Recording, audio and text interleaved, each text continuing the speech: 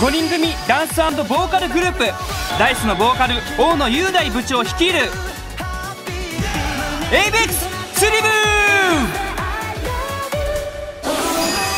今回の釣り部は体験入部として LOL のモカちゃんと秒2マックスのコーダさんを迎えフグ釣りに挑戦。しかし。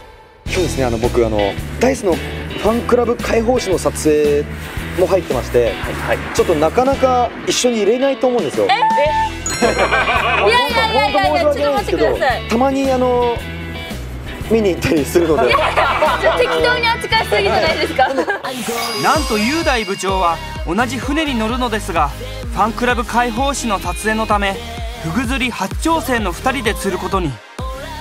果たしてモカちゃんとコウタさんは釣ることができるのか？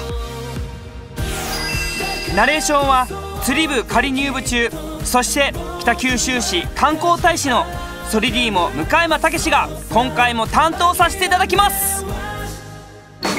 えっとまず頭を取って、はい、針金の向きに合わせてつけてコウタさんどうやってつけるんでしたっけ？逆さにしてで2個目にぐさでしたっけ？また刺す。私と合ってるのか。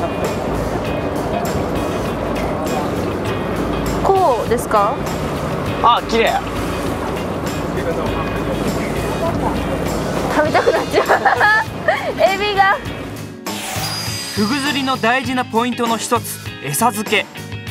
出発前に船長さんからレクチャーを受けましたがやはり初心者にはちょっと難しいですよね。でもなんとかつけられたみたいなので早速釣っていきましょう。よし。よし行きます。さよならエビちゃん。ドン。上げて。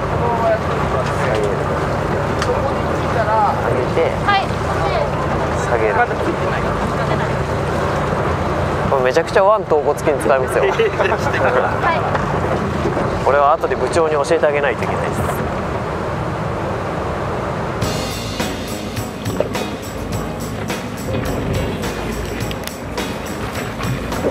糸がこっち側にどうしても行っちゃうんですけど。ほら。また巻き込まれてる。なんで？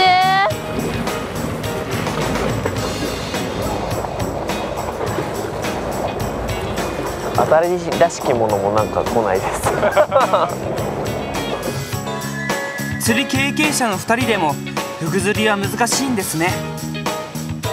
部長も別の撮影中のため気を使ってアドバイスを聞くこともできずひたすら当たりを待ち続けることに。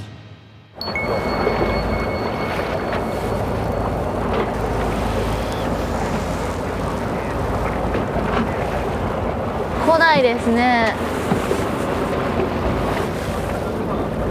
この後も全く釣れずということで雄大部長にコツを教えてもらいに行くことに。部長すいませんあの全然釣れないんですけど。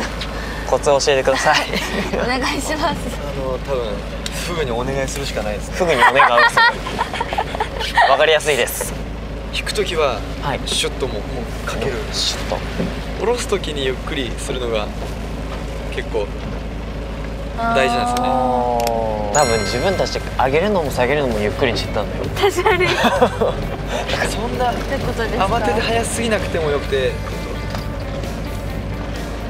これぐらいというかでも全然絶対釣りたいですよねせっかく、はい、釣りたいですでっかいの釣りましょうでっかいの釣りましょう。でっかいの。はい。すぐにお願いしてみます。すぐにお願いします。お願いします。はい。ふうさんにお願いします。みんなありがとうございます。お願いします。お願いします。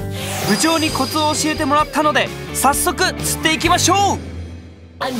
とその前にコウタさんが部長に伝えておきたいことがあるみたいですよ。部長、はい、めちゃくちゃワンと骨筋とななんてワン頭骨筋ですね。ワン頭骨筋はい。これめちゃくちゃ効きます。もうここを太くするっていうのはもう腕を太くする基本で。基本で。はいこれはちょっとちょっとあの釣りエクササイズができるかなと。新しいジャンル釣ったらもっと負荷がかかるんで、あもっと負荷がかかるんで。なんで釣りましょうか。そうですね。腕を太くするために釣ります。はい、僕もちょっと頑張っています。はい。エクササイズで。エクササイズエクササイズで。はい。さっきの雄大さんのこのタイミングを見習ってやってみます。自分はあの引く時も下げる時もゆっくりしてて多分ただ餌を取られるだけみたいな感じだったんで次こそは。2人とも部長に教えてもらったコツを生かしながら再び釣り始めて20分が経った頃。お来たかもしれへん来たかもおさあどうだ？あ違うかな？お来た。やった。イエー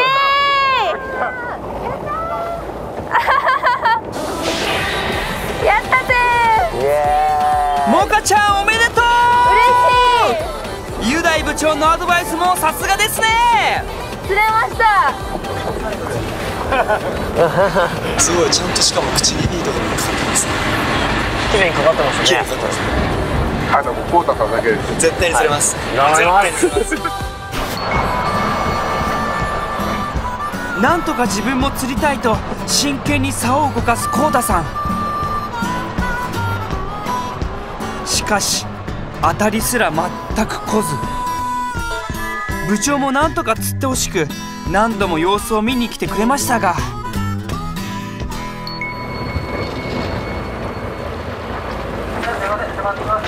が ここでタイムアップ。コウタさん残念。ということで今回の釣果はモカちゃんが1匹コウタさんが0匹という結果に。やっぱりフグ釣りは難しいんですねそして船が港に戻ると船長さんに釣ったフグが食べられるようにさばいてもらって今回のフグ釣りは終了。次回の釣り部は今回釣ったフグを試食。体中が超回復してますよ！個性豊かな3人の食レポは必見ですよ。もちろん部長のあのクイズもありますよ。次回もお楽しみに